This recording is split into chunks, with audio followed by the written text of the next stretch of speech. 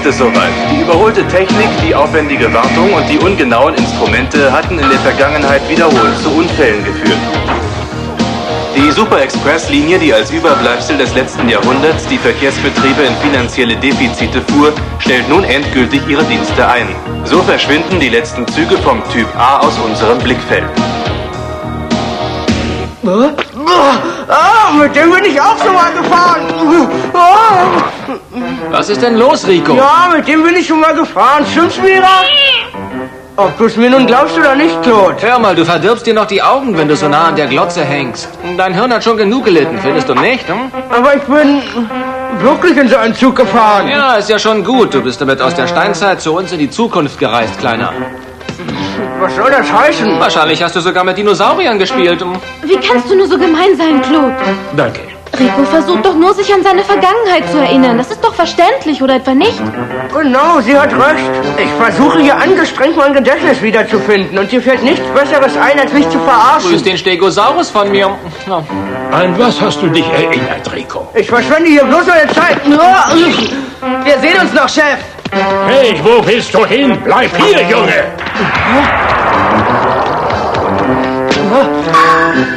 Wo fährt eigentlich der Super Express ab? Weiß das jemand? Du kannst ihn sicher auf dem Bahnhof bewundern, aber soviel ich verstanden habe, fährt er nicht mehr. Vielen Dank für die Information.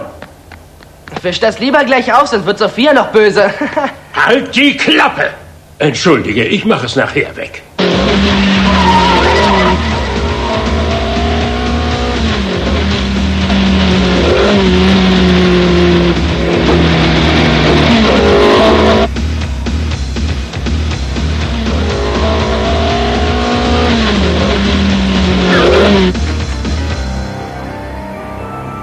Ich rutsche ab. Aua. Ach, was ist denn hier los? Ich habe gedacht, der Bahnhof wird erst demnächst geschlossen. Das ist eine Entscheidung der Regierung. Da sollten wir uns nicht reinhängen. Die werden schon ihre Gründe haben. Da steht noch ein Wagen im Distrikt 7 rum. Aber vielleicht ist das alte Ding inzwischen auch verschrottet. Hä? Was ist denn mit denen los?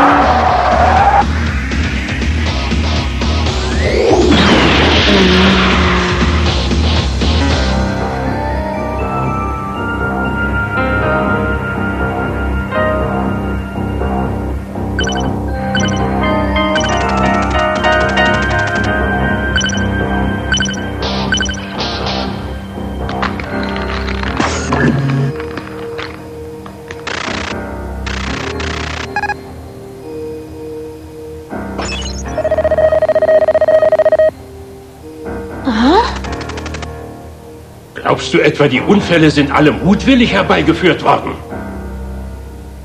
Ja, außerdem haben die Schienen Risse, die auf mangelnde Wartung hinweisen. Dasselbe kann man auch in den Verstrebungen der Brücken beobachten.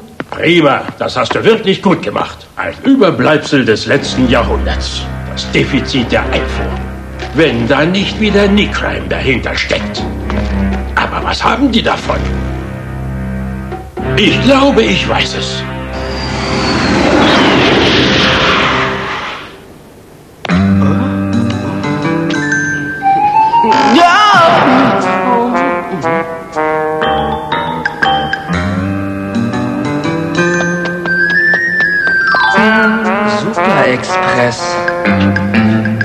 Muss er sein.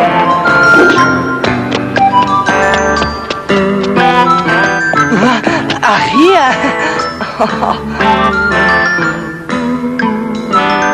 Da steht er. Juhu.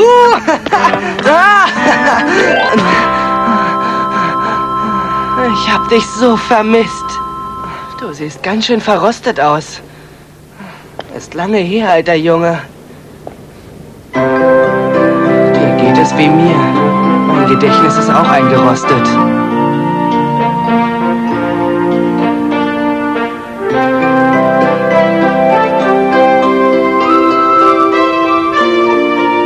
Rico. Ach, verdammt, ich, ich kann mich einfach nicht erinnern.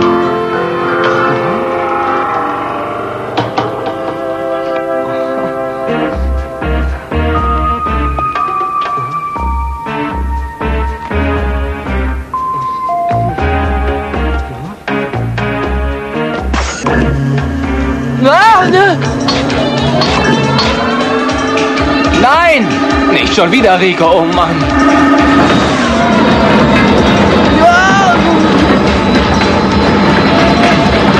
Um Gottes Willen. Oh nein, er fährt los. Oh, mein Schädel brummt. Oh. Der ist ja losgefahren. Ja. Sie geht nicht auf.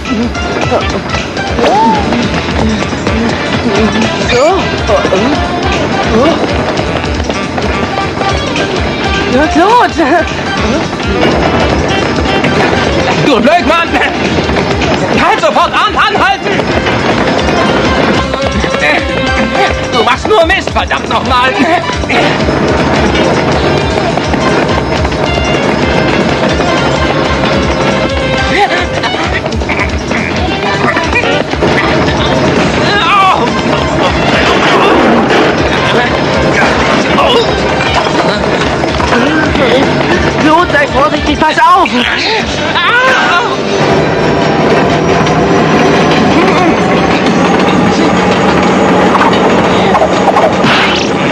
Kann nicht mehr, verflixt nochmal. Sie müssen meine Anweisungen genau befolgen. Fangen Sie sofort an, die Minen zu verlegen. Natürlich. Sehr wohl, Exzellenz, aber ich frage mich, wofür ihr das TS-Erz aus dem Meteor benötigt. Das werden Sie noch früh genug erfahren. Aber nun verlieren Sie keine Zeit mehr. Sie wissen, was Sie zu tun haben.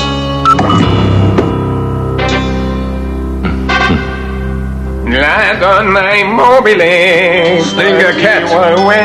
Jawohl. Ich habe dir vor langer Zeit das Kommando für dieses Projekt übergeben. Ich warte auf die versprochenen Ergebnisse. Tja, die Mühlen malen nun mal langsam. Aber ich höre, dass wir uns jetzt beeilen müssen, da die Halbwertzeit schon erreicht ist. Halbwertzeit? Ja, das ist die Zeit, in der die Atome eines radioaktiven Materials durch den Zerfall um die Hälfte reduziert werden. Du musst äußerst vorsichtig arbeiten, denn das Erz ist gegen Erschütterungen sehr empfindlich. Hörst du sehr empfindlich? Jawohl, ich habe verstanden.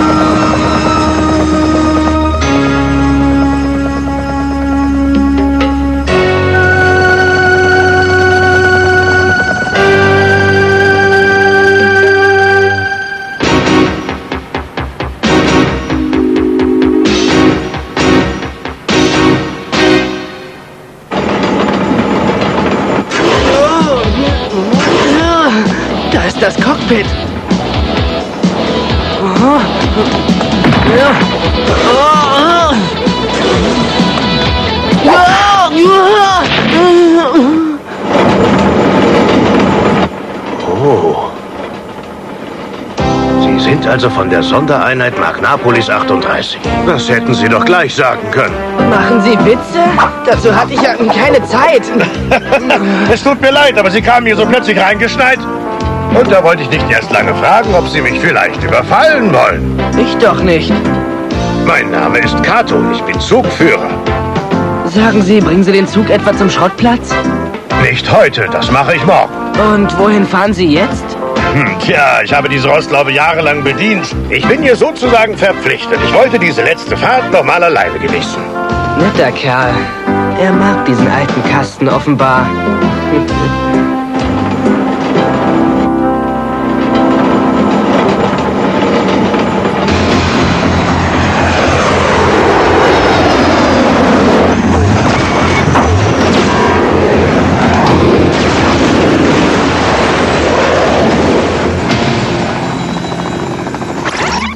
Es steckt tatsächlich Nickreim dahinter. iPod ist angegriffen worden. In Distrikt 7, wenn ich mich nicht irre. Dr. Gondo, hören Sie mich? Oh, gut, dass Sie sich melden. Es gibt schlechte Neuigkeiten. Rico ist gerade mit so einem alten Super-Express verschwunden. Wo befinden Sie sich jetzt, Claude? Im Distrikt 7. Hat Ihre Frage einen bestimmten Grund, Chefchen? Distrikt 7? Nick Crime hat in ihrer unmittelbaren Nähe die Schienen demontiert und ein riesiges Loch gegraben. Was? Sie haben die Schienen rausgerissen? Aber Rico fährt direkt darauf zu, um Gottes Willen. Rico, ich fürchte, dein letzter Zug fährt direkt in die Hölle.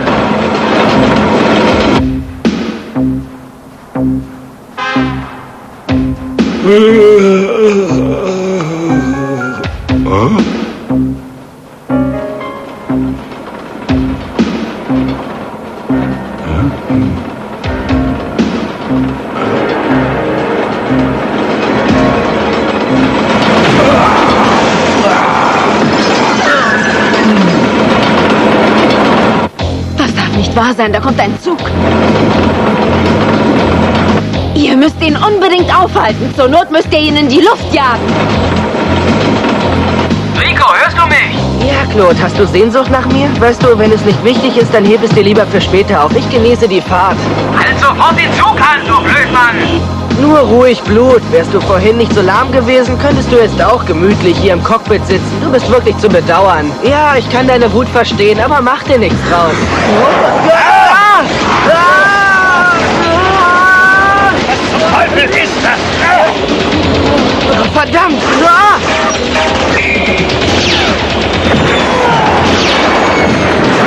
Alles in Ordnung mit dem Zug?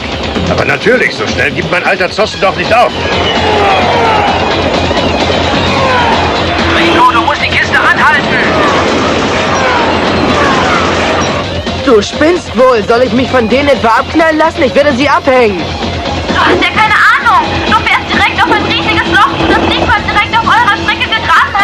Oh, Sophia, ist das wahr? Eigentlich müsste ich die Notbremse ziehen. Nun erzählen Sie mir bloß nicht, dass die Bremse nicht funktioniert. Dann kriegen wir Probleme.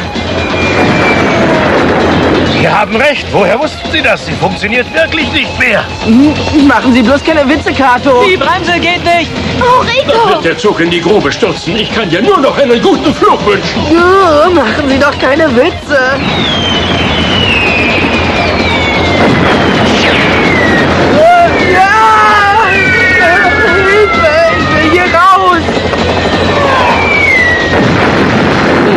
Ihn immer noch nicht angehalten. Ich sagte doch, ihr sollt ihn notfalls sprengen.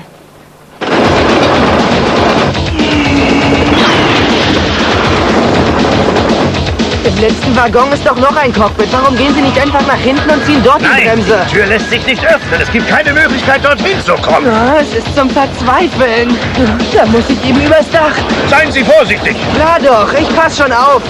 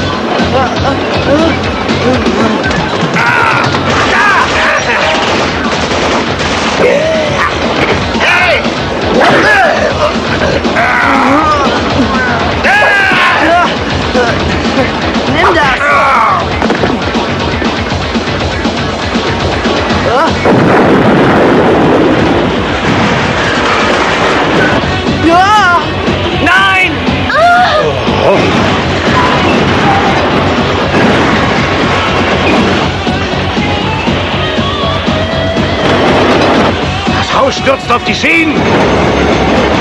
Ah! Ah! Ah!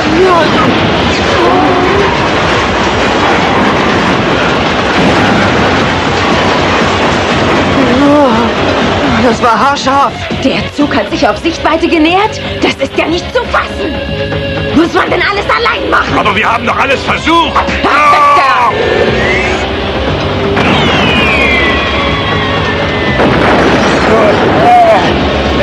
Ich kann nichts macht. Die Bremse funktioniert einfach nicht. Oh, was ist denn mit den Schienen los? Oh nein, die Schienen sind hochgebogen. Was mache ich bloß? Hoffentlich tut sich hier noch was. Verdammt nochmal, das klemmt. Ich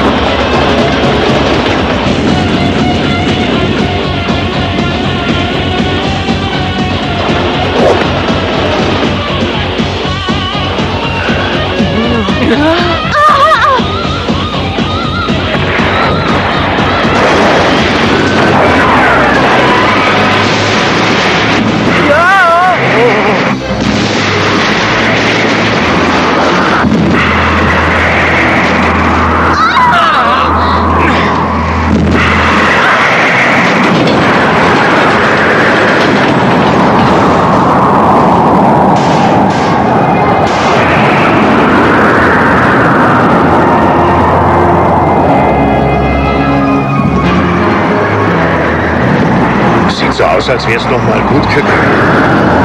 Tja, Ich glaube, steht der alte Kasten endlich.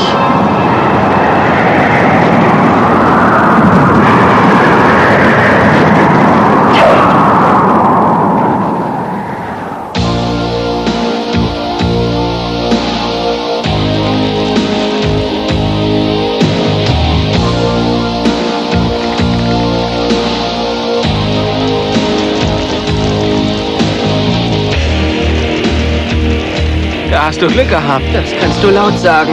Er hat einfach nicht angehalten. Ich dachte, es wäre aus mit dir. Nie im Leben hätte ich gedacht, dass die alte Rostlaube noch mal so schnell werden könnte. Schnell war sie allerdings. Diese Rostlaube, wie du sagst. Für so ein Überbleibsel des letzten Jahrhunderts, wie ihr es nennt. Naja, also ich finde, ein bisschen ist der alte Kasten ja wie du. Was, wie ich? Ja, er ähnelt dir. Ist er erstmal ins Rollen gekommen, hält ihn so schnell niemand mehr auf. Nur, dass du noch nicht reif für den Schrottplatz bist. Tja, der aber schon.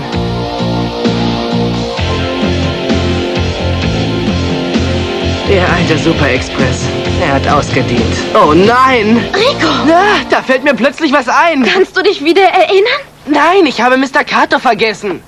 Hallo, hier bin ich. Ich bin hier, Freunde. Wie ist die Luft da oben? Gut.